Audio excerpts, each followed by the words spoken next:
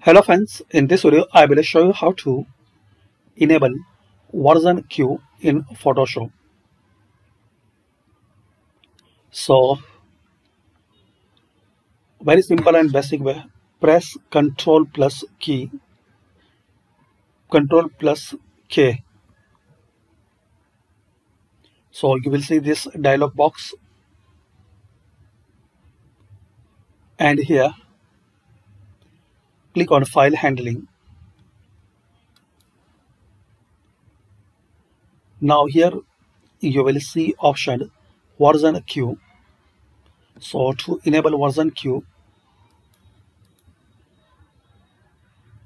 check this box then click on ok. If you want to disable so again press ctrl k. File handling and deselect this box. Then click on ok.